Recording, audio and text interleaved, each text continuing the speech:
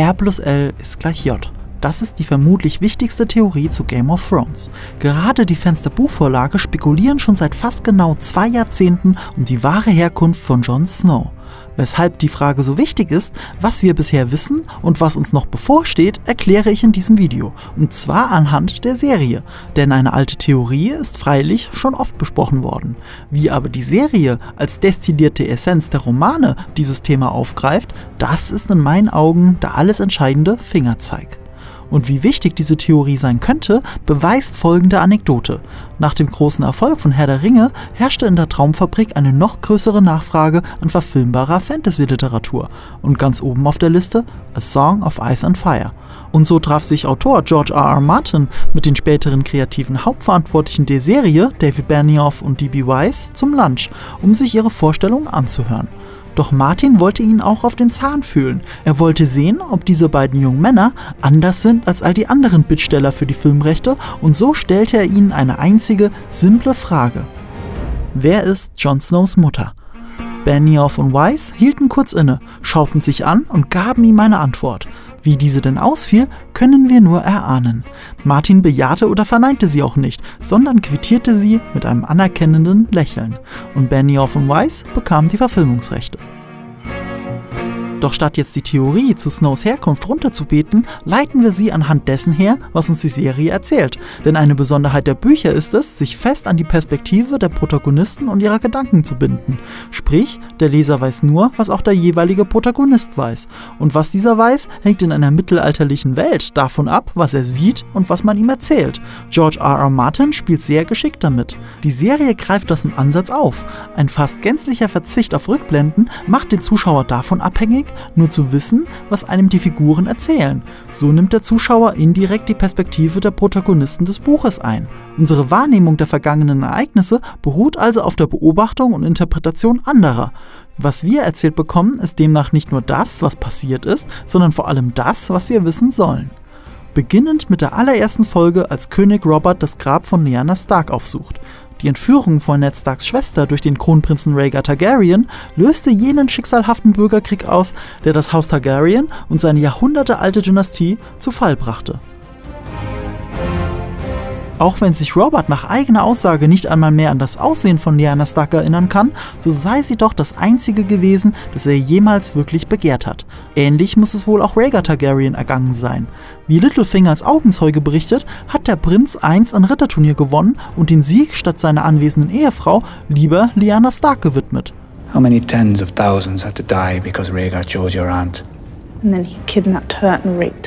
Doch nicht allzu sehr romantisch, zumindest laut Sansa Stark. Aber es ist wohl auch das, was man ihr als Kind berichtet hat. In der Tonalität schneidet sich das mit Littlefingers Schilderung, der aber selbst anwesend war.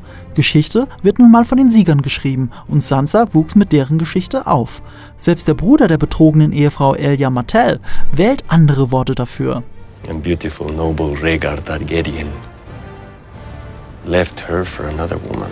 Jeder, der Rhaegar persönlich kannte, beschreibt ihn als edel und tapfer. Ein Kronprinz, von dem jeder hoffte, dass er seinen Vater, den Mad King, beerben würde. Ein Prinz, der lieber sang, als zu töten. Rhaegar never liked killing. He loved singing. Ist das jemand, der seine Frau und seine beiden Kinder zurücklässt, um eine andere Frau zu entführen und zu vergewaltigen? Genau dafür in den Krieg zieht und bereit ist zu sterben? Denn genau das sollte passieren. Robert erschlug ihn mit seinem Hammer. Der Krieg war damit quasi beendet. Mit ihm in den Krieg zog Lyannas Bruder Eddard Stark. Zurück kehrte er mit einem Bastard, einem Snow. Er muss das Kind gezeugt haben, noch während seine frisch angetraute und schwangere Catelyn zu Hause auf ihn wartete. Catelyn konnte ihm das nie wirklich verzeihen und Snow nicht wie einen eigenen Sohn lieben. Und doch sprach Eddard nie von dessen Mutter, nicht ein einziges Mal. Und selbst sein Freund Robert meinte sie gesehen zu haben, nur um dann im nächsten Moment festzustellen, dass er Eddard überhaupt noch nie mit einer anderen Frau erlebte. Aber wie denn auch, wo doch die Serie nicht müde wird, Ned Stark stets als einen Mann von Ehre darzustellen. Ein Mann, zu dem es gar nicht passen würde, eine Konkubine zu halten. A bastard by some tavern slut. Perhaps, Es war sogar die Ehre, die ihn letztlich den Kopf gekostet hat. Das ist es, was wir wissen. Das ist es, was die Serie uns erzählt. Was sie uns noch erzählen wird, lässt sich kurz vor Staffel 6 anhand der Trailer schon erahnen. In einer Vision von Bran, begleitet vom dreiäugigen Raben, ist dieser persönlich Zeuge des Kampfes am Tower of Joy.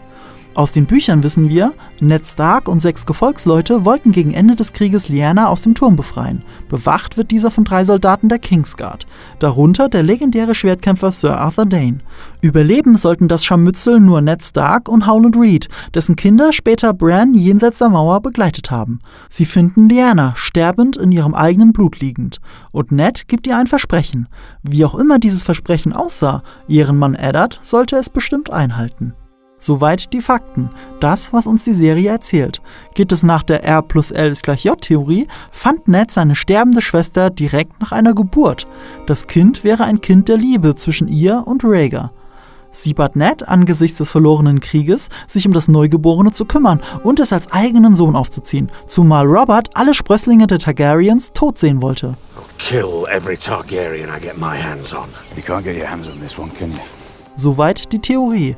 Interessant ist aber das Timing der Serie. In der ersten Staffel werden die meisten der relevanten Handlungspunkte aufgegriffen und nicht weitererzählt. Erst die fünfte Staffel greift das wieder auf und charakterisiert Rhaegar und Eddard. Wenn man bedenkt, dass die Gesamthandlung auf acht Staffeln ausgelegt ist, stellt die erste dramaturgisch gesehen die Exposition, die Einführung der Geschichte dar. Die fünfte Staffel bewegt sich auf den sogenannten zweiten Plotpoint zu, ein Überraschungspunkt, ein Wendepunkt im Laufe einer komplizierten Handlung. Jon Snow als möglicher Anwärter auf den eisernen Thron, als prophezeiter Auserwählter, der die Armeen der Menschen verbündet und im Kampf gegen die Untoten anführt, das wäre so eine Überraschung. Wo doch gerade die Serie aus Zeitgründen sehr darauf bedacht ist, welche Handlungsstränge erzählt werden und welche nicht, wäre es aber fast noch die größere Überraschung, wenn diese vielen Puzzlestücke nicht zu einem Gesamtbild zusammengesetzt werden. Und apropos Handlungsstränge, einer betrifft den ständig wieder auferstehenden Lord Beric Dondarrion.